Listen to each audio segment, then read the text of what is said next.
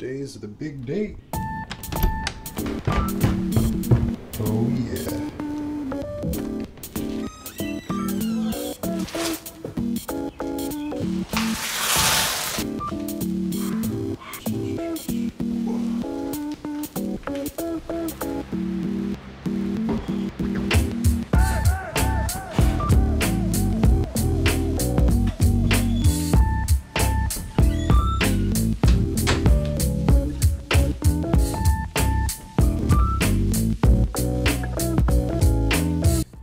For safety. Good job, team. So there are a ton of you guys following me on Instagram, about a thousand from the last time I saw, which I am so grateful. Now with that amount of support, I was reached out by a few people letting me know that Bambu Labs was hosting this giveaway. Stacy from Rotor she told me about this competition and surely enough, I decided to join it. For those who don't know what I do, if this is the first time you're on this channel, I'll go ahead and show you guys a few different products that I make. Essentially, they were asking RC people to provide any any photos of like designs that they've made. At first glance, I was thinking maybe they, they're talking about innovative designs like latches and levers and all those crazy stuff. But I was like, you know what? Screw it. I'll give it a go. With the designs that I've done, I've compiled those photos, threw it up on the contest, and you know, kind of cross my fingers hoping for, for good luck. About a few weeks later, now we have a Bambu Lab X1 series combo. I don't, I don't even know where to start with this. Before I got this thing, I was using um, two Ender 3 Pros. This one's really good for printing TPU. I don't know, I guess the settings are good for this one. While this one does way better for harder plastics like, you know, your typical PLAs and stuff like that. And now we got this thing. So I guess the best thing to do now is start with the unpacking. I saw some videos uh, just to kind of get a head start or kind of know what I was getting into. And the unpackaging seems pretty interesting. There's a lot, a lot going on.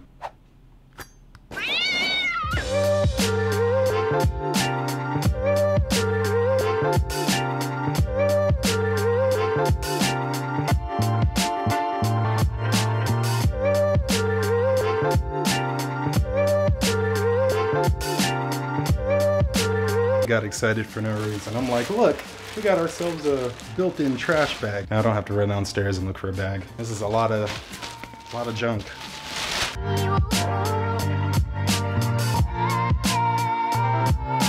Came with this, uh, I guess this motor boat model components kit. That could be for my son. Bambu Lab Carbon Combo 3D printer, quick start. Yeah, we're gonna need this.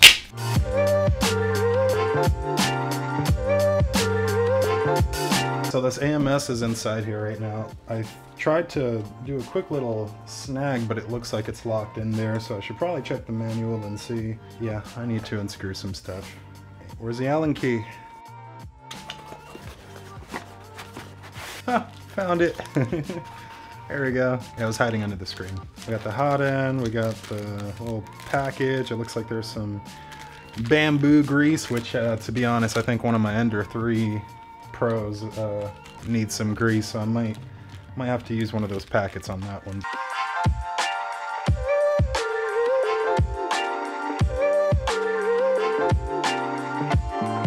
Important information. So it says, ensure that the build plate is on the heat bed and matches the corresponding build plate setting in Bambu Studio. Wash the build plate regularly with hot water and detergent for best adhesion. Wait until the bed plate fully cools down before removing prints. With my Ender 3, I just snag it off. No wait time. Zip zilch. It's done. It's, it's coming off. All right, and lastly it says, when printing PLA and TPU with an enclosed printer, keep the front door open or top cover open. I'm not sure how that's gonna affect uh, TPU, but we're gonna find out soon enough.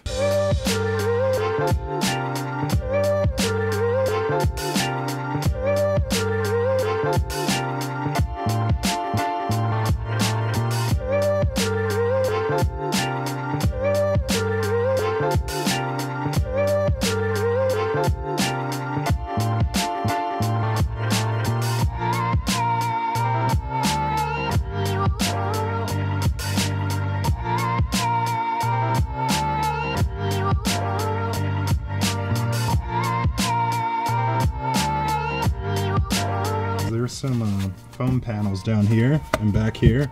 And it seems like I can't really get them out without feeling like I'm gonna damage something. supposed to, I guess, start up here. Instructions just show to remove the screws off the the end here. Uh, I should probably get more light so you guys can see. One second. There are little red arrows across the end that I took the screws off of, but I'm not really sure what to do next. I watched a few videos. Any unboxing video that I've seen so far, they just overlooked it. I guess those pieces are meant to be removed after the system sets itself up. So the next steps now is essentially downloading the Bambu Handy app, getting this thing plugged in and testing out our first print. So I'm just waiting for the Bambu Handy app to download on my phone. I'm excited. Oh, look at that. Nice little light. That's cool. I heard there was a camera system. Where's the camera? Oh, I see it. It's up there. It's right there. I got this set up, changed my name. Right now it's still showing the default name. Probably going to change it after I get into this screen here. The printer needs to calibrate for the current environment. Please ensure the heat bed is unlocked before starting calibration. Calibration may take several minutes. Calibrate. Yep. So it did go up. Guess we can take these out, maybe? Yep. That's why I couldn't just yank it out. It was all across the bottom. I was confused. After a few minutes, calibration is complete. What I'm gonna do now is do a test print. We're gonna do a 3D Benchy.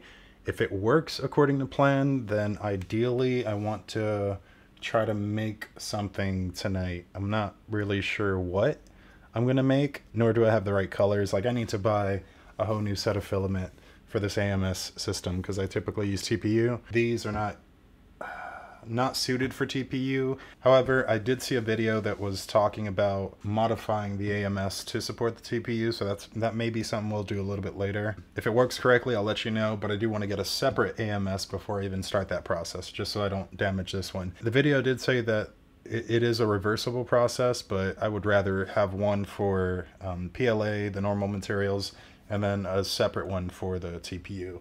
There seems to be a folder already built into this and it has certain prints on it. I figured we could get started with just the basic Benchy. Hopefully the camera records automatically and that'll be sent to my phone. I haven't checked that yet. Alright, print now. It's doing its thing. Now it does say to keep the door open if we're printing with PLA, and I think it also wanted the hood open, but we'll just pretend, we'll pretend that the hood's open.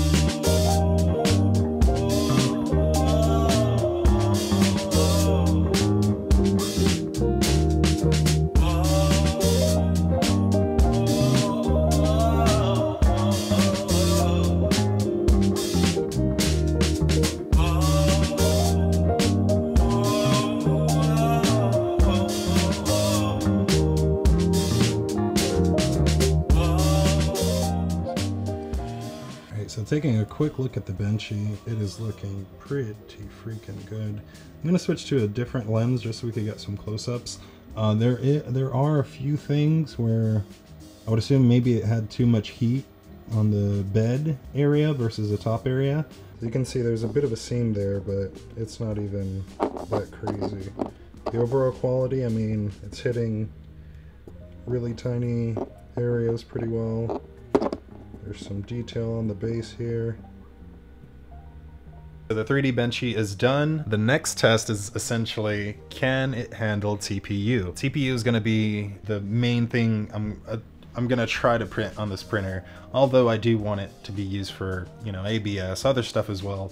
If you're following me on Instagram or on Facebook, any, any, any of the two, uh, you'll be able to see when I post these creations that I make. So if you have this frame and you want to fly with Haunter bumpers protecting your motors, definitely check out the Patreon. Um, link will be in the description. The goal is to print these Haunter boots and see how well it does that, how well it can keep the detail. Um, and then we'll compare it with the ones that were printed on the Ender 3 Pro. So um, let's try that out. So I got Haunter thrown into the mix here. The only problem is the supports kind of look a little funky.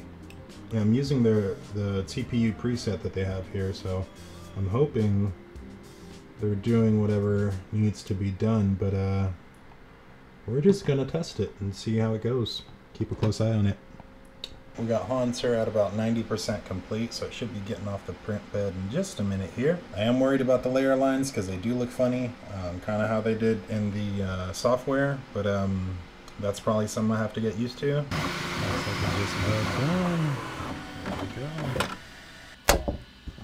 The filament does come off a bit stringy versus with the Ender 3 I was able to get it all pulled off in, in like one swoop.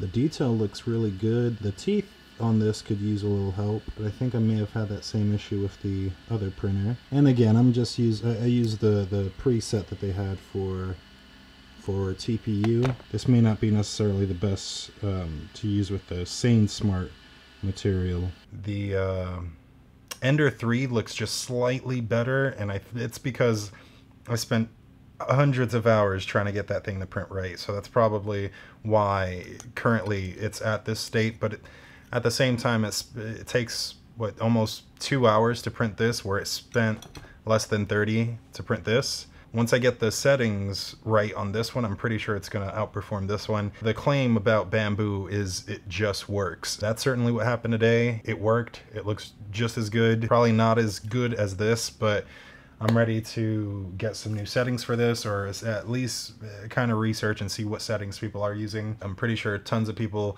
have their tips and tricks on how to use the SainSmart material on this printer. I did as I mentioned before, use the preset that this one comes with, but it's it's trying to use Bambu TPU, not SainSmart. I'm excited for the opportunities. I have um, like that burger drone stuff I want to reprint in multicolor. I have uh, these Haunter mounts which I want to do in multicolor where I want to have the white eyes and the you know the pupil and stuff. You'll be seeing that soon, so be sure to follow my Instagram. It's going to be linked below as well as on Facebook if you want to check me out there. With that being said, it's been fun, y'all. Until next time, take it easy.